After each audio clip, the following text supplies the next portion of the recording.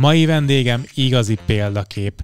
Vele született látványos betegség ellenére kiáll magáért, és lépésről lépésre megvalósítja az álmait. Tanuljunk tőle. Vendégem KB Style, azaz Kis Bálint. Engem Lakatos Leventének hívnak, ez a Levente klubja. Azonnal kezdünk.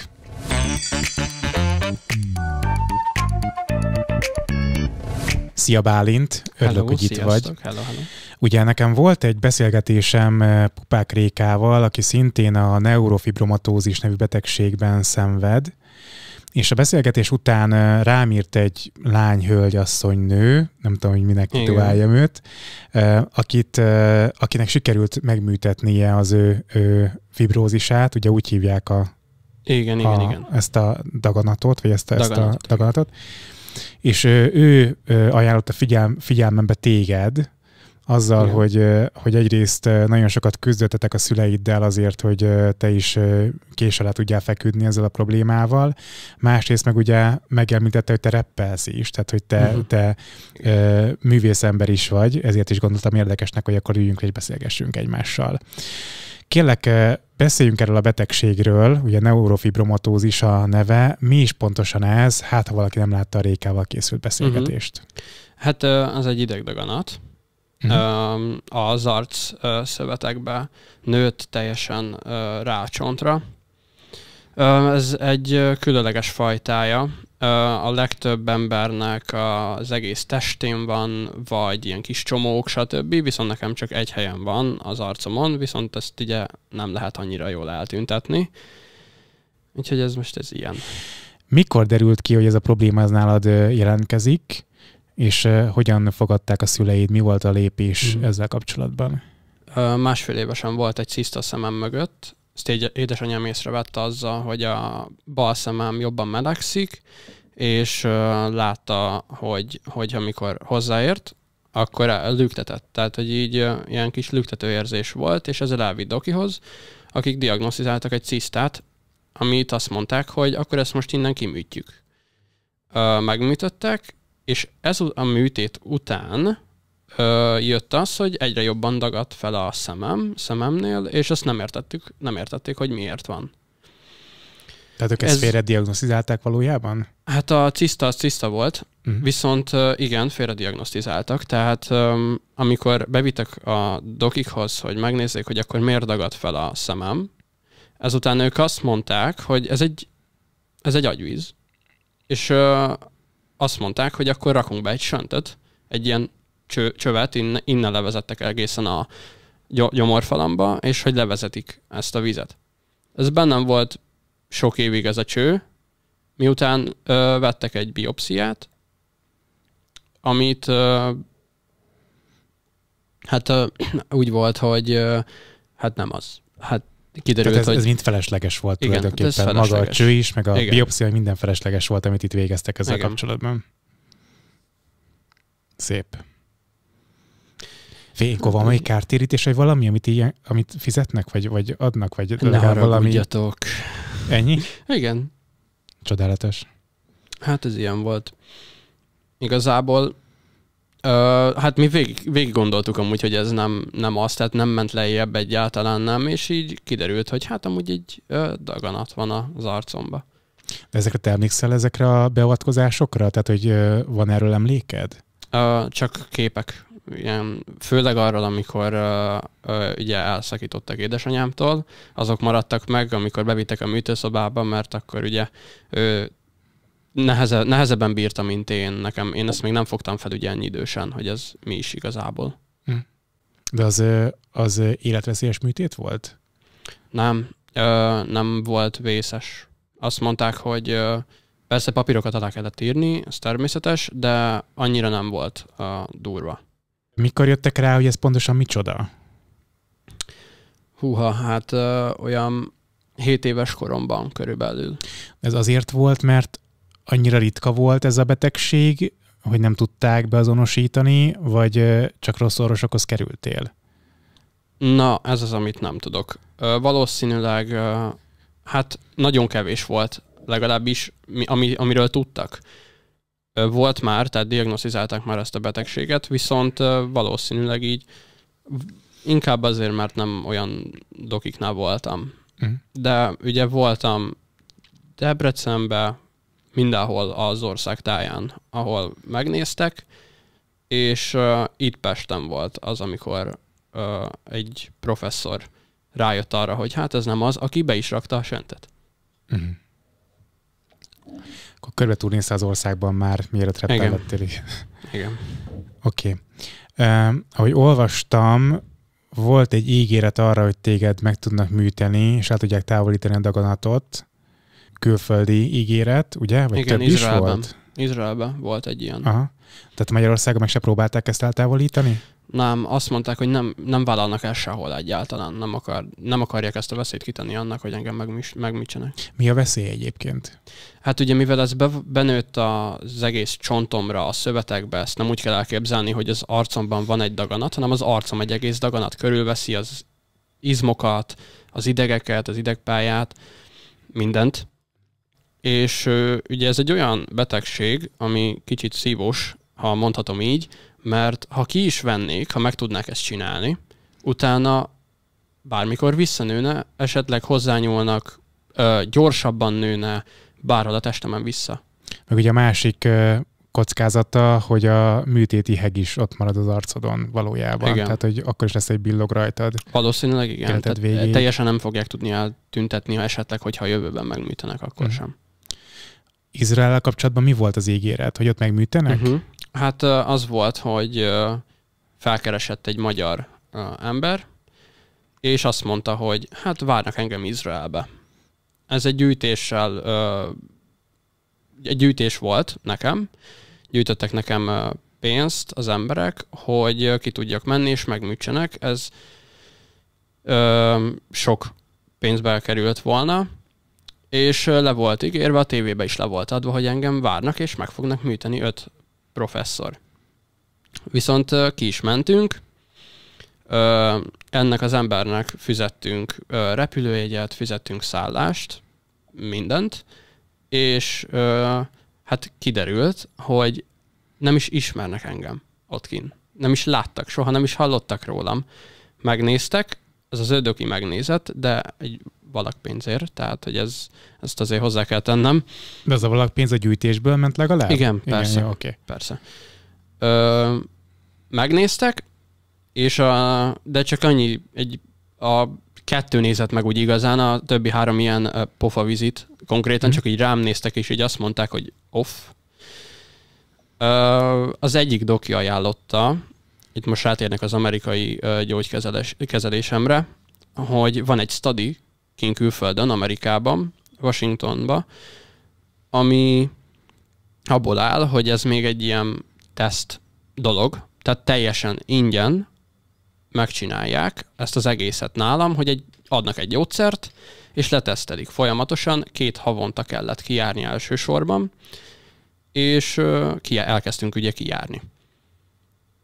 Uh, elkezdtem szedni a gyógyszert, konkrétan mindent lett leteszteltek nálam, mindenhogy megvizsgáltak mindenhol. Furának is tartottuk, mert ugye van egy metódusa ennek az egésznek, ugye, hogy mindent megkérdeznek, konkrétan ugyanaz a doki mindig megkérdezte ugyanazt, mint amit két hónappal azelőtt. Uh-huh. És így furának tartottuk, hát, hogy nem, nincs máshol a testemem, tehát megkérdezték, hogy, hogy akkor ez csak itt van, és akkor mondtam, hogy igen, ez csak itt van. És akkor utána kimentünk megint, és megint megkérdezte, hogy ez csak itt van. Hát igen, ez csak itt van. Mert ugye, hogyha nálam nem nőhet ki máshol ebben a stádiumban most. Uh-huh. Úgyhogy megnéztek ott kin, elkezdtem szedni egy gyógyszert, és folyamatos emeri vizsgálatokat ö, csináltak, és ö, azt mondták, ugye ez a gyógyszer azt ígérte, hogy megállítja a növekedését, és hogy vissza is húzhatja egy kicsit. Ami meg is történt, 11%-kal azt hiszem annyival húzta vissza, és meg is állította a növekedését. Aztán ut- ut- utána jöttek ugye a mellékhatásai a gyógyszernek, mert voltak ugye azok is, de azok hát voltak. Mondhatom azt, hogy sokkal több mellékhatása volt, mint uh, jótékony hatása. Tehát olyan, hogy begyulladt tőle a láb, lábkörmöm, meg a kezemen is, meg pattanások, de ilyen brutálisan. Uh-huh. meg ugye ennek a gyógyszernek volt egy kérelme is, ha így mondhatom hozzám, hogy hát a gyógyszer bevétele előtt nem ehetek két órával, csak ihatok vizet, meg beveszem, és utána egy órával. Tehát napi hat órát nem fogyaszthattam semmit vizen kívül. Ez akkor tényleg elég kemény. Hát igen. Belejárója volt a dolognak. Amikor te rádöbbentél arra, vagy tudatosult benned az, hogy nem olyan vagy, mint a többiek, tehát hogy van mm. egy mhm. különbséget hozzájuk képest, akkor benned mi játszódott le, te erre emlékszel? Uh, emlékszem rá, uh, nem igazán foglalkoztam vele. Uh-huh. Uh, vagyis hát nem is tudtam, ugye ez meg, meg, megelégeltem azzal, hogy én ezzel nem tudok mit kezdeni, elfogadnak, amilyen vagyok, aki elfogad, az elfogad, aki nem, az nem. Ez gyerekfejjel már át, átment így a fejeden? Igen, hát muszáj volt. Uh-huh. A többiek hogyan álltak hozzád? Um, igazából mindig máshogy. Ez uh, olyan, hogy aki ismeretlen, az megnéz, persze. Van, akik feltűnően, van, akik nem. Viszont uh, hát régebben úgy volt, hogy ugye én ezt nem vettem észre, és nem is nagyon figyeltem. Inkább arra azt, azt vettem mindig észre, hogy a szüleim, vagy édesanyám, vagy édesapám éppen szól egy illetőnek. Volt olyan, hogy, hogy ugye kisgyerekek, kisgyerekeknél ugye az van, hogy, hogy ők még ugye nem láttak ilyet, persze, ezt természetesen meg fognak nézni, de volt, hogy felnőttek is, megbámultak, megszóltak, stb., és akkor arra lettem figyelmes, hogy édesapám éppen szól nekik, hogy, hogy hát én a fia vagyok, és hogy ö, beteg vagyok, meg ilyenek. Persze nem úgy beszólt nekik, hanem csak mondta nekik, hogy mi történt, meg ilyenek. Hmm. Mert ugye... Képbe rakta őket. Igen, igen, igen. Hát nekik sokkal jobban fájt ez, mint nekem osztálytársak elfogadtak az első perctől kezdve? Igen, természetesen. Akkor uh, szerencsés voltál, hogy nem, nem voltak ilyen beszólogatók, meg zaklatók a suliban, osztályban. Persze, de ez olyan volt, hogy én, hát ugye nekem a személyiségem az olyan, hogy egyből ilyen barátságos, tehát uh, keresik a személyiségemet, és szeretnek az emberek, legalábbis azok, akik ugye közel állnak hozzám. Um, mindig is azt mondták, hogy, hogy volt egy olyan eset például az új iskolába, ahova most ugye járok, hogy az egyik, a, az egyik spanom, mondhatom úgy, hogy a legközelebb álló spanom, ő azt mondta nekem, hogy az elején, az, elején, az elején, amikor még ugye nem beszélgettünk, akkor megijedt. Persze mindenki, hogy, hogy ő ilyet még nem látott, vagy ha látott, akkor is csak tévében. És aztán mondta, hogy, hogy ahogy megismert, most már nem is látja ezt az egészet az, hogy neked lehetőséged adatott arra, vagy legalábbis így felcsillant a lehetőség annak, hogy megműtsenek és ezt eltávolítsák. Te azt hogy fogadtad? Azért kérdezem ezt, mert most, ahogy beszélsz a múltról, úgy tűnik, hogy te ezt alapvetően elfogadtad, saját magadat. A műtét lehetősége az felvillanyzott, vagy pedig úgy voltál vele, hogy ha meg lehet csinálni, akkor tök jó, de egyébként teljesen mindegy. Uh-huh. Az a baj, hogy annyira gyerek voltam, és annyira gyerek fejem volt még, hogy én ezt nem tudtam egyszerűen Ö, azt mondták, hogy meg fognak műteni. Én ettől nagyon féltem. Tehát, hogy így borzasztóan kirázott a hideg tőle, hogy engem most megműtenek, és bármi lehet, mert ugye akkor már tudtam, és volt pár tapasztalatom így műtétekben, mert sose szerettem a műtéteket, de valahogy így már hozzászok, hozzászoktam. És amikor ö, megtudtam, hogy engem meg fognak műteni, ugye, gondolatban már az volt, akkor ö, a szüleim is féltek, viszont ők bennük volt egy ilyen kis ö, boldogság. Ugye? Én így nagyon nem, nem tudom, már nem, annyira nem emlékszem, hogy én itt akkor mikor, mit, mit éltem meg. De úgy nagyon nem, nem foglalkoztam vele. És most, hogyha azt mondanák, hogy meg tudnak műteni, akkor mit mondanál? Elsősorban utána járnénk, hogy, utána járnék, hogy mennyire uh, legit a dolog. Aha. Uh, Hát lenne bennem kétség. Nem is a felől, hogy ha azt mondják, hogy százszerzalékosan meg tudnak műteni, én akkor is elgondolkoznak rajta, mert már annyira ö, megszoktam, és el vagyok így, élek ezzel, úgyhogy nincs problémám, legalábbis ugye ö, egészségügyileg nincs ezen kívül más problémám, és nem tesz semmilyen kárt, ugye. Így elfogadtam, és így szerintem én nem is akarok már megváltozni. Amerikát említetted, a gyógyszert, amit kaptál. és ugye ez a gyógykezelés az még nem ért véget, csak közben szólt a hmm. pandémia. Mm. Ugye? Te fél évente járták ki Amerikába? Ö, igen, először, vagyis hát utólag fél évente. Uh-huh. Viszont az ele- eleinte, ugye mivel elkezdtem a gyógyszert, utána két hónaponta, aztán négy, és úgy így lett hat. Hát ennyi az ide oda ut- utazni, kettő a viccelek. Tehát, Körülbelül amúgy igen, igen borzasztó volt, azok voltak a legrosszabbak az utak. Ah. És akkor most ez hogy áll, hogy a pandémia közben szólt a gyógykezelésnek, igen. visszatértél? Tehát, hogy ez most újra nem. zajlik, vagy... Nem, nem zajlik.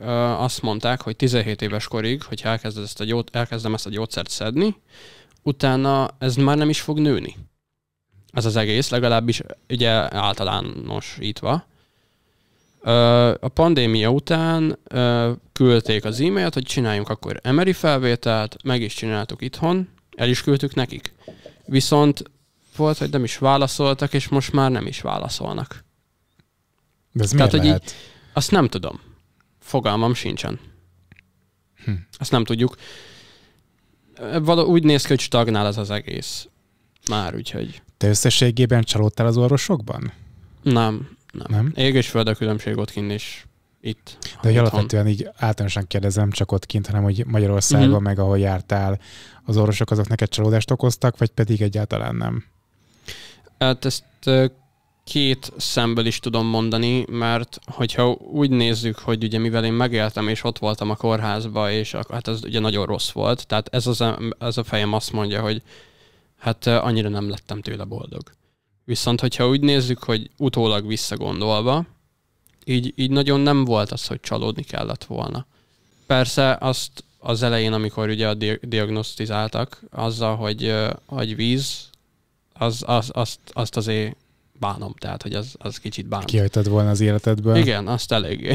Mert hogyha akkor jönnek rá az emberek, hogy velem mi a baj, akkor még talán meg tudtak volna menteni. Meg tudták volna menteni ezt az egészet. Tényleg? De hogy?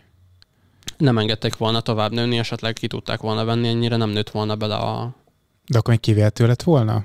Hát valószínűleg igen, úgy, hogy a idegeket kellett volna erről az oldalról átrakni a másikra. Uh-huh.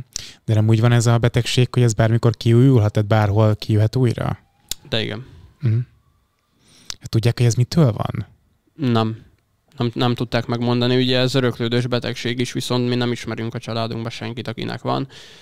Nagypapámnak van egy kávéfoltja, ahogy nekem is van, viszont neki semmi más nincsen.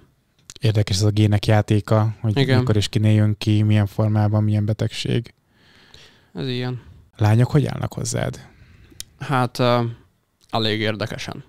Mm, úgymond, ha megismernek, van egy baráti kör, és utána már ugye muszáj megismerni, mert akkor ugye ott vannak a barátaim, spanok, stb.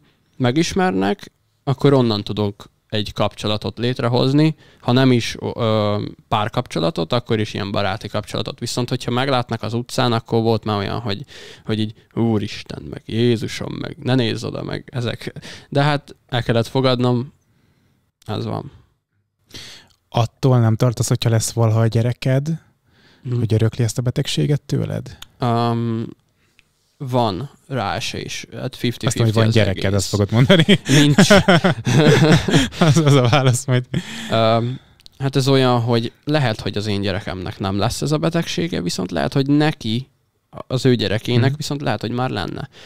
Viszont ugye ezt már meg lehet csinálni ugye a mesterséges megtermékenyítéssel, hogy ne legyen. Tényleg? Igen. Ki tudják szűrni ezeket mm-hmm. a mhm. betegségeket így előre? Igen. Azt nem tudom, hogy hány százalékban ö, mert lehet olyan is, hogy megcsináljuk ezt az egészet, viszont lehet, hogy mm, lehet, hogy csak egy kávéfoltja lesz, vagy, vagy ilyesmi. Tehát nincs, nem száz százalék biztos.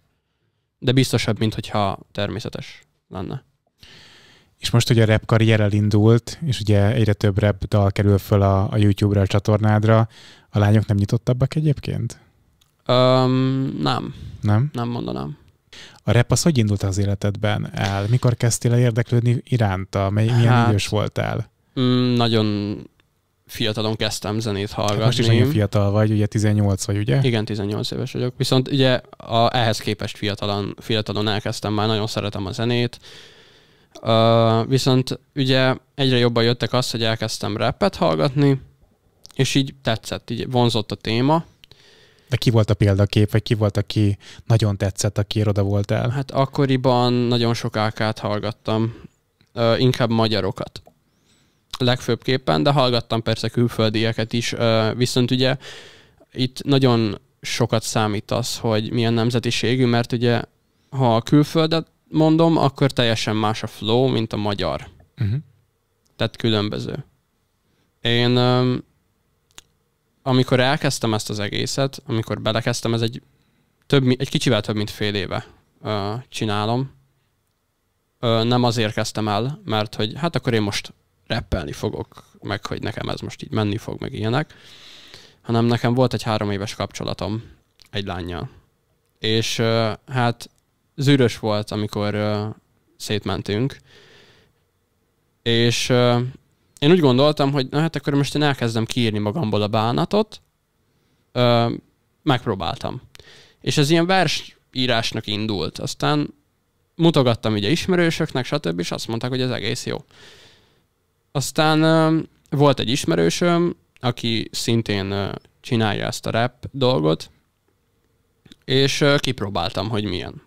Volt otthon egy ilyen, mert ugye én régen csator- YouTube csatornával is foglalkoztam, tehát streameltem, meg ilyenek, de csak ilyen dacból. Tehát dacból? Hát ilyen nem, nem azért, hogy, hogy akkor engem most nézzenek, meg, meg ilyenek, hanem csak úgy elfoglaltság. Tehát, hogyha nulla ember nézett, én még akkor is élveztem csinálni. Uh-huh. Nem tudom miért. Tehát a hobbi volt. Igen. A dac, azt ami azért mondod, hogy dac, mert hogy csak azért is meg akarod magad mutatni a világnak, hogy van benned egy ilyen, annak ellenére, hogy, hogy van ez a, ez a, ez a veled született probléma. Igen, um, ugye nem régiben elkezdtem a TikTokot is uh, csinálni, és uh, több millióan is néztek, néznek, uh, ugye, és nagyon sok olyan kommentet kaptam, hogy én nagyon sokat segítek XY-nak abban, hogy elfogadja saját magát, és hogy én nagyon nagy erőt mutatok ezzel, hogy én uh, nyilvánosságra hozom ezt. Abszolút, de ez nagyon pozitív, hogy ezt, ezt ennyire vállalod és ennyire mész előre. Igen, és én azért szeretem csinálni, hogy, hogy azok is elvállalják magukat, és ne legyen rossz érzetük, akik eddig nem mertek. Még ez egy jó hozzáállás, amit mondtál az előbb, hogy, hogy ez van. Tehát nem tudsz vele mit csinálni valójában, el kell fogadni magadat, más lehetőség nincsen. Igen.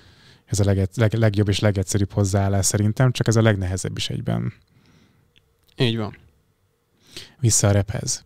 Tehát ugye akkor a barátnőddel való szakítás után, ami zűrös volt, azt mondtad, Igen. megírtad a bánatodat versekben, és Igen. otthon kipróbáltad. Igen, ugye úgy intottam, hogy ugye streameltem, és nekem volt egy mikrofonom, de ilyen nagyon rossz. Tehát egy, egy ilyen, nem is azt mondom, hogy annyira nagyon rossz, hanem inkább, hát ilyen 30 ezer forintos, ezt most én így kimondom, megpróbáltam felköpködni a szöveget, ha mondhatom így, már nálunk ilyen a szójárás, hogyha valami van. Én értem, az szlenget értem azért ennyire, igen. igen. És uh, valahogy így, így éreztem azt, hogy, hogy amúgy ez annyira nem is rossz. Persze most visszahallgatva azokat a zenéket, az ez így szokott lenni, tehát ez nyugtasson meg, ez mindig így van. Ami most Igen. csinálsz, az is már nem tudom, egy múlva az egy Persze, rakásszal lesz a szemedbe majd. Igen. És ö, tetszett. Tetszett, azt is mutogattam ismerősöknek, és azt mondták, hogy egész jó, és hogy folytassam. Én meg folytattam, folytattam, gyakoroltam programokat ugye a zenekészítéshez. Ö, csináltam. Az és... alapokat te írod? Ö, nem, azokat az eleinte leszettem internetről, mhm. YouTube-ról, az olyanokat, amik ugye ingyenesen felhasználhatók. Sokan csinálják ezt, ugye a például az x az Alit is támadták ezzel, hogy ilyen alapokra írta a dalait. Igen, igen, Egy-kettőt még az X-Factor alatt, de hát ezek tök legál dolgok, hogy a... Persze, hogy fel lehet a... használni, csak ugye profitot nem lehet belőle hozni. Uh-huh. Nálam ugye nem is ez számít. Azért fontos az is, nem? Hát... Uh, Jó, még diák vagy tanulsz, még, még, tulajdonképpen még mindegy, nem. de aztán így után már jó lenne belőle profitálni majd, nem? Igen, szeretnék, de igazából nekem nem az számítana a jövőben, hogy én ö, ezzel pénzt keressek, hanem azt, hogy én egy fellépést szeretnék. Egy olyan, hogy, hogy legyenek emberek, én meg a színpadon. ez egy nagyon nagy álmom. De ilyen Budapest Park? Igen, vagy, pont vagy, vagy a helyi diszkóra gondolsz? Hogy mely... Budapest Park, Budapest persze, Parka. persze. Azt, azt nagyon adnám. De azok a szerelmes dalok, amiket, vagy ezek a szerelmes uh-huh. reppek, amiket mondtál, az ugye fel se került a csatornádra, hogyha jól azok sejtem. Nem. Sőt, itt egy cikket olvastam, ahol voltak olyan dalok, amiket én nem találtam meg a, a csatornán, például a Nincs még szövegem című dalra gondolok, ja, még nincs szövegem? Állítólag, Igen, azt, ö, azt állítólag, priváttá Állítólag a fiatalok szórakozási szokásairól ö, reppeltél mm. eléggé sarkos megfogalmazással. Ö, hát igazából a Még nincs szövegem az volt a leges-legelső zene, amit kiraktam. Ez egy ö, spanommal készült, egy ilyen feat ö, dolog. Az volt az első, amit azt mondtam, hogy na én ezt elvállalom és kirakom YouTube-ra és szép számmal amúgy meg is nézték, viszont ugye, amit most csinálok, ez nem az a szint. Na de várjál, most a szövegnek a tartalmánál leragadok egy kicsikét. Igen. Ugye te a fiatalok szórakozási szokásairól... Az egy másik de... zene. Igen? Igen. Azok, Milyen jó cikket olvastam akkor rólad, amíg Ugye? tök, tök Amúgy vannak mindenben. Néha... Okay. Szóval, hogy, hogy hogy a fiatalok szokásairól reppelsz Igen. bármely dalodban is.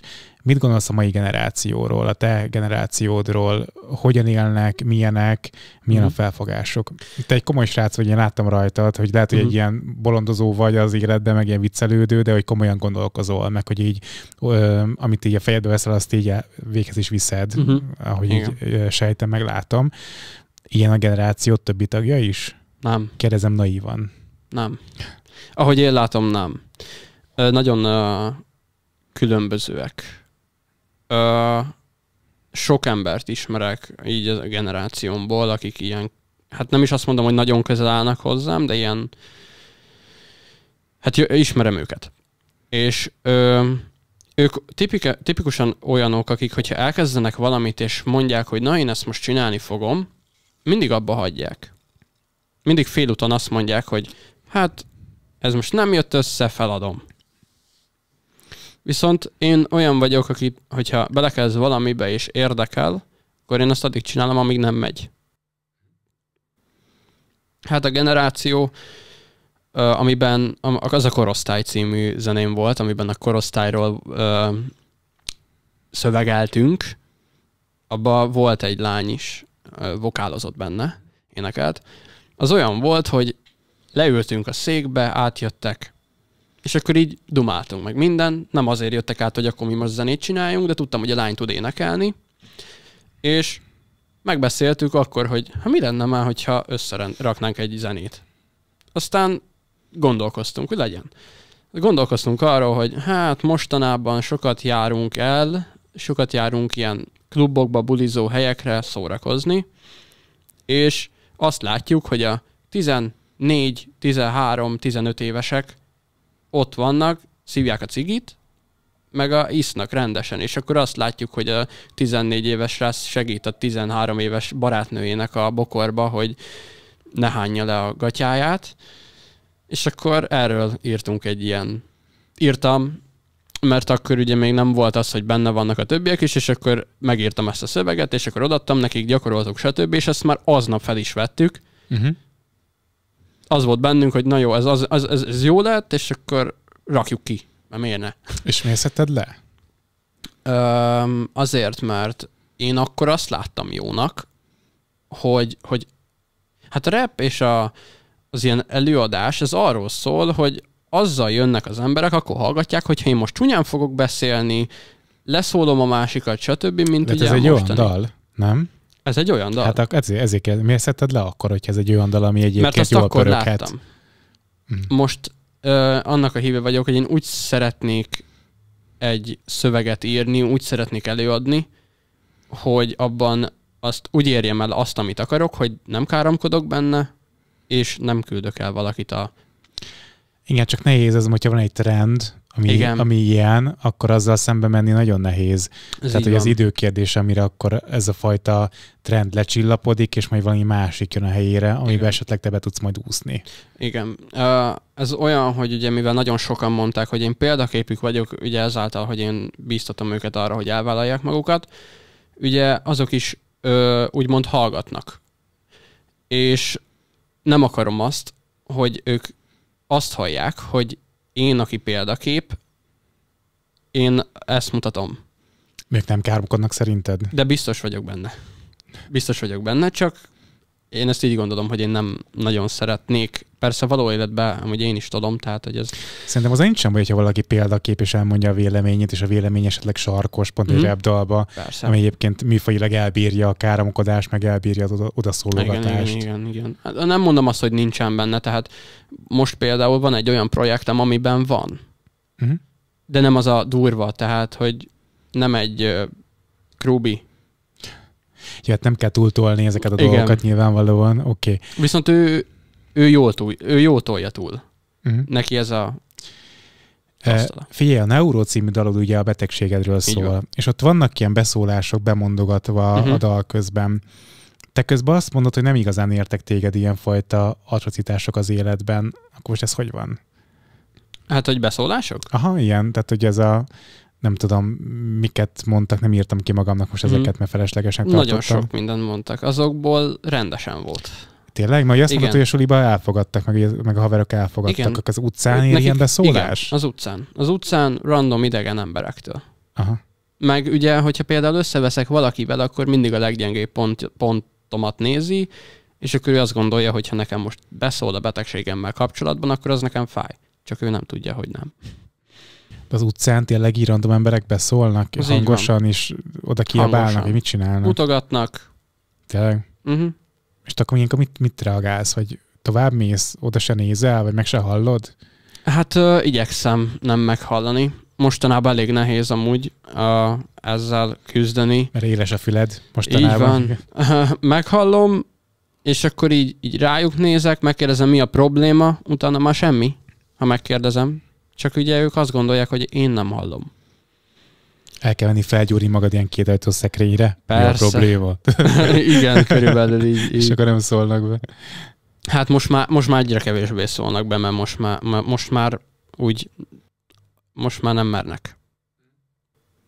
De mivel tudtad magadat meggyőzni arról, hogy ezek ne hassanak rád? Mi volt az a védőpajzs, amit amit felúztál magad köré, és amik ezeket ki, kizárták, elutasították. Azt mutattam nekik, hogy nem érdekel. Aha. De akkor még érdekelt?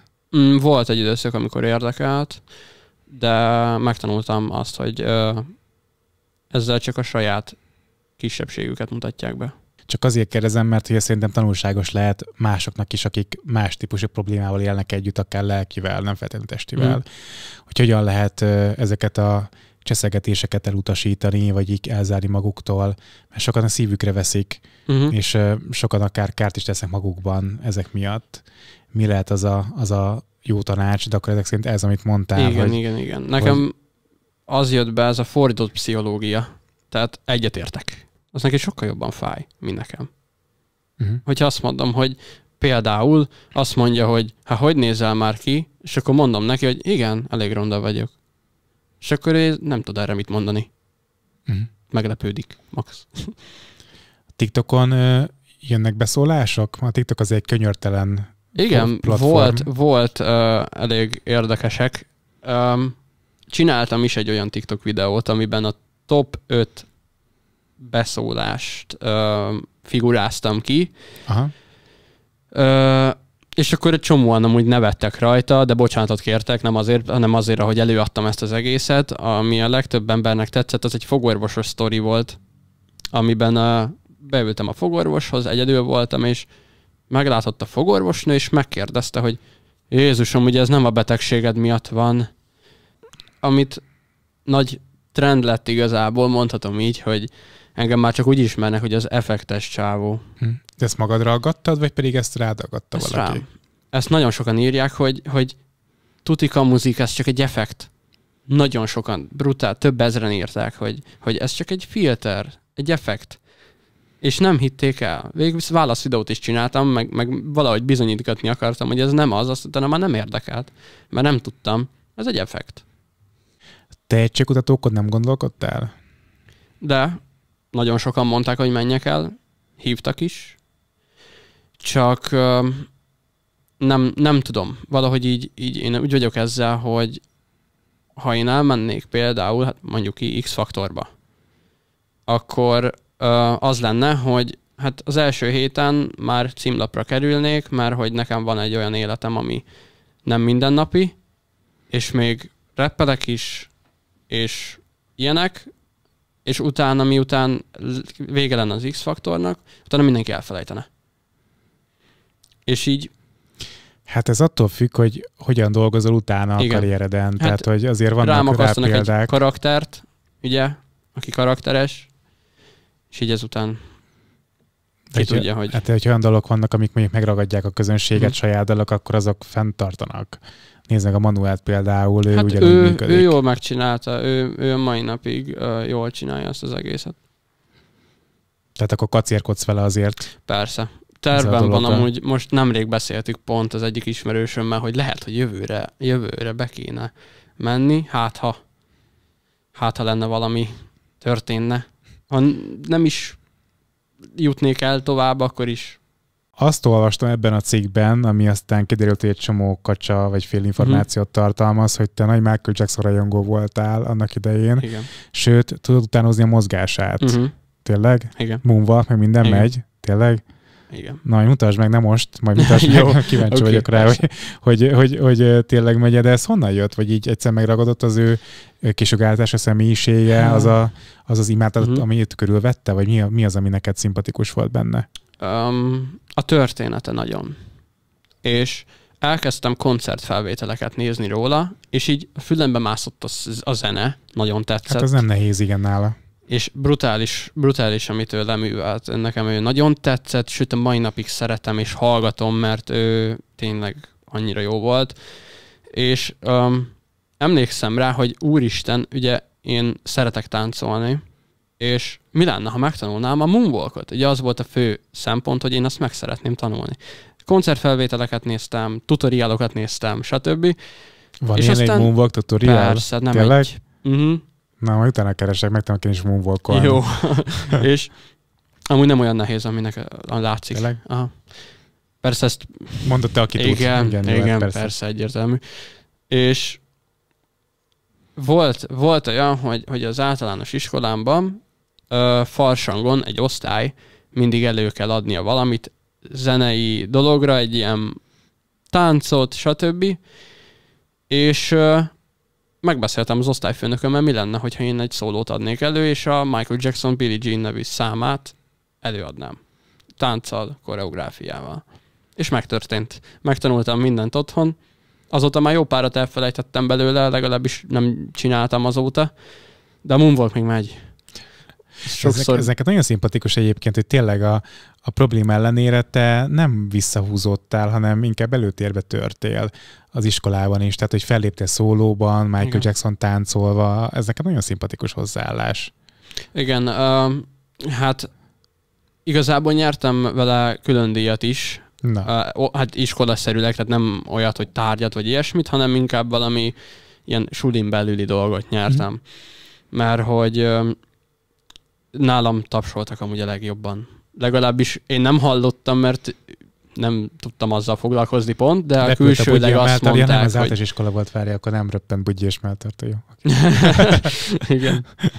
Tehát akkor tetszett nekik, oda voltak érte. Igen. Ezt kéne beépíteni majd a fellépéseidbe, tudod, egy kis múvalkot. Amúgy, igen. Hát, ez hát ilyen nagyon egy... sokan jönnek oda, mert ugye van egy videó is erről amúgy. Tényleg? Igen, fenn van Youtube-on. Átveszem hogy egy-két loopot a Michael Jackson-tól, és akkor beleépíted a, a daljaidba a, a moonwalkot. Jó, amúgy simán lehet. És um, nagyon sokan mai napig oda jönnek kérni, hogy halad nyommá el, hát akarja látni, meg minden, és akkor ugye ez, azért nem felejtettem csak el. De hát igazándiból azt nem lehet elfelejteni, mint a biciklizés olyan biztos, hogy Amúgy egyszer igen. tudtál, meg egyszer megtanultál, akkor utána megy a moonwalk is. Bár mondjuk ö, olyan körülmények között megy csak, tehát ö, olyan padló kell hozzá, meg cipő, tehát nem jó az, hogyha van rajtad egy ilyen szkafander, meg ilyenek, ö, csúsznia kell. Aha. Ez a lényeg. 18 éves vagy, tehát még tanuló. Igen. Mit tanulsz? Én programozást tanulok uh, egy informatikai iskolában. De mi a terv? Mit akarsz programozni? Játékokat? Vagy, vagy milyen területet uh, szeretnél? Több dolgot szeretnék csinálni. Valószínűleg, amit hogyha dolgoznék például szoftverfejlesztőként, akkor én még szeretnék csinálni mellette hobbiból ö, dolgokat például cégeknek. Uh-huh. Amik... De ilyen, tudom én, ilyen ügyvitei rendszer, vagy, vagy, mi, vagy mi az, ami téged érdekel? Hát én programokat szeretnék programozni. Ugye számítógépes programokat, amik megkönnyítik a gyárak, cégek uh-huh. munkáit. Uh-huh. Például van egy olyan dolog, ami nehezen lehet elérni, tehát most leegyszerűsítem, tíz gomb az egész, uh-huh. akkor én azt szeretném megcsinálni, hogy ez csak egy, egy gomb legyen, és könnyebben meg lehessen csinálni. Te boldog ember vagy? Igen. Én, én boldog vagyok, ahogy vagyok. Szerinted a boldogsághoz mi kell? Az elfogadás. Az egy önmagad elfogadása? Vagy? Igen. Tehát nem az, hogy mások fogadjanak el, hanem önmagad elfogadása. Igen. Az így van. És tudom azt, hogy ha én elfogadom magamat, akkor akik tényleg elfogadnak engem, azok el is fognak fogadni. És ott vannak, és tényleg nagyon sok barátom van, nagyon sok ö, spanom, kapcsolataim, úgyhogy... Tehát azt mondod, hogy szerinted a magabiztosság, ami belőled sugárzik, az bevonza a többi embert is. Igen. Uh-huh. Igen, nagyon szeretnek velem lenni igazából az emberek, meg egyszerűen nincs olyan, hogy, hogy nem vagyok valakivel, mert hogy ő szeretne velem lenni, meg hogy ilyesmi. Valahogy én ilyen vagyok. Nagyon szépen köszönöm, hogy itt volt, és tudtunk beszélgetni egymással. Szerintem sokaknak erőt fog adni ez a beszélgetés. Biztos vagyok benne, hogy a te példádból kiindulva um, fel tudnak töltődni, és a saját életükre is tudják vonatkoztatni azt, amiket elmondtál. Mit kívánjak neked útravalónak az életre? Mármint hogyan? Hát nem tudom én, nem milliós megtekintésű dalokat, Budapest ja. parkos fellépés, mit kívánjak neked? Hát igazából csak annyit, hogy legyen egy koncert, ami bármilyen koncert, csak tíz főnél több legyen. Elég egy darab koncert ebből. Hát legyen egy millió ilyen koncert, nem? Jó. Egyel nem érjük be, ne vicceljél. Hát nekem csak ez az álmom, hogy egyszer olyan koncertet adjak elő, ahol ha ugrálnak a színpad előtt a zenére. És, és éneklik a dalokat, vagy nem tudom, reppelik a dalokat. Vagy a refréneket csak éneklik. Legyen így. Köszönöm, itt voltál. Én köszönöm a meghívást. Ha tetszett a beszélgetés, iratkozz fel a csatornára, nyomj rá a csengaikonra, hogy a szóljon, hogyha új videó érkezik. Nézd meg a korábbi beszélgetéseket, szólj hozzájuk, lájkold őket, és ha ezek után még van kedved, akkor kövess a különböző social media platformokon, például az Instagramon.